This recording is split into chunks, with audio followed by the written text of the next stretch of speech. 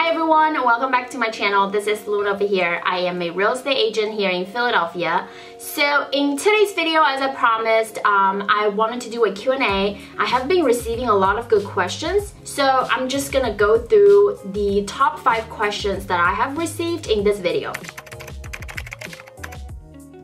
Question number one is, Hi Luna, I hope you're doing well. Recently I passed my real estate exam three times.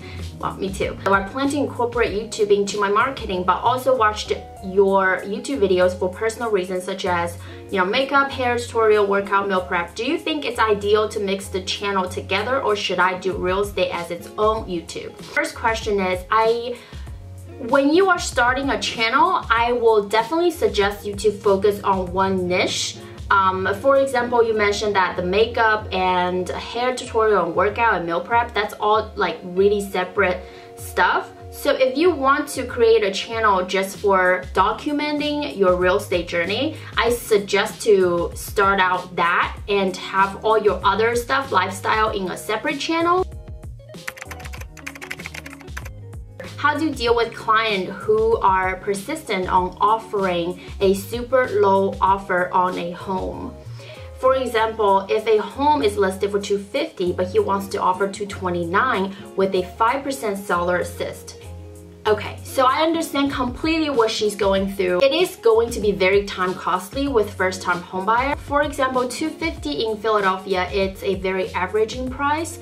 So let's say if the home goes on the market the first three days and you are the first few agent that see the house, be sure to get in contact with the listing agent first, get a feel of if it's a multiple offer situation. And if, if it is a multiple offer situation, let the buyer know that it was pricing it under the your market price that you would most likely to go either go in with a full price or add 5,000 or 10,000. If it's necessary, you can also add a escalation clause. If it's not a multiple offer situation, send them the comps. Let them know, you know, you can go in maybe 10% off or 20% off.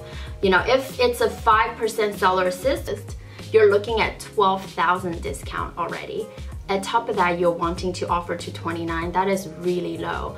So um, you will get discounted most likely. The seller probably just going to reject it. Educate them on the market. Let them know how these offers goes. It's usually gonna take one or two tries for them to understand the process. So I hope I'm doing a good job explaining it. Uh, it does get complicated. On average how long does it take you to make 600 calls and um, I did mention in my video, I usually prospect three to five hours depending on what I have to do that day. So averaging like 400 to 600 calls. 600 calls, it depends on it depends on the pickup rate. If the pickup rate is really high, then I'm spending a few minutes on the calls that got picked up. It's hard to say, but I'll say 600 calls usually gonna take me anywhere from four hours to five hours. What do I use to dial the numbers? I have made a separate video explaining what I use. It's a Mojo triple line dialing. It costs about $200 just for the dialer itself. And the top of that, if you want to buy leads, it's going to cost like $50 for FSBO data or $50 for expires data. What do you qualify sellers is it in the same first phone call or do you call them the next day? Also, say you have a phone call where a seller wants to make a listing appointment. How likely is that the appointment will be the same day? Okay, so that depends. If I'm just cold calling someone, right, and the person said, oh, I want to sell my house right now. Most likely, I think he's joking. And then I was like, oh great, well, how soon can you imagine all your stuff out of your property? Like, where would you be moving to? And if they can give me a place where they're moving to, and they said, I can imagine all my stuff out in 30 days. If it sells in 30 days, that's not gonna be a problem. And then I'll be like, okay, well, do you have it under five?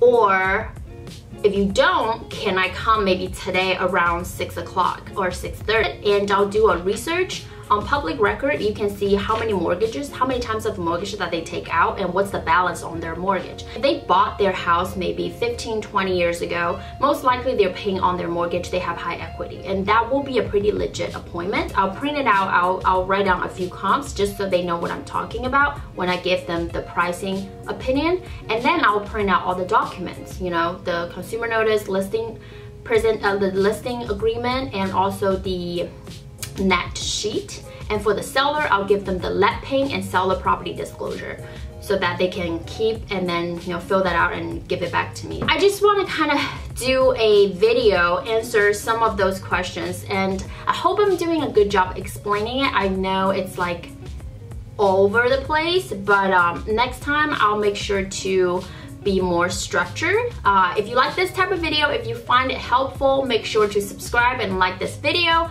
Thank you so much for watching and I'll see you guys in the next one.